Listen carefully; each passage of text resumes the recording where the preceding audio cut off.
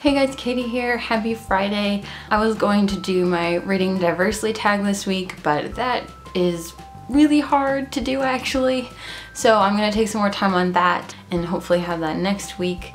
But for now, I thought I would just talk a little bit about what I'm reading this weekend. You may have seen my review the other day for Ancillary Justice.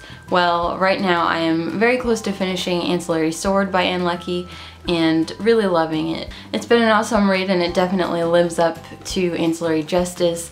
I have no idea what's gonna happen and that's really cool because I feel like with what I usually read, you know, I know pretty much what's going on. So it's a it's a great experience and um, I will link my review to Ancillary Justice below if you haven't seen it yet and look for a review to this very soon.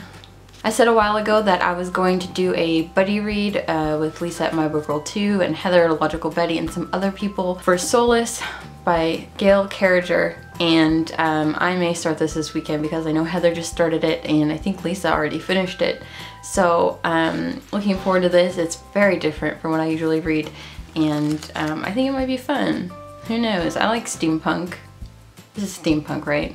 Mm. And finally, in my TBR for this month, I mentioned The Shadow of the Wind by Carlos Ruiz Zafón and I got such a response that I feel like I need to read this immediately so I definitely want to read this this weekend.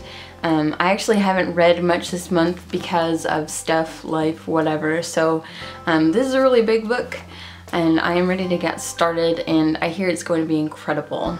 So that's about it. I do have some plans this weekend. We're doing a Friendsgiving with some friends and uh, that'll be really great. But other than that I'm hoping to laser around and read and play video games. I just want to say thanks a lot for all the comments on my recent videos, my review of The Secret History and my review of Ancillary Justice. Those were both difficult reviews to do and I really appreciate that people enjoyed them and that we could talk about the books and just all around. It was so great. So thank you so much if you commented or watched or whatever.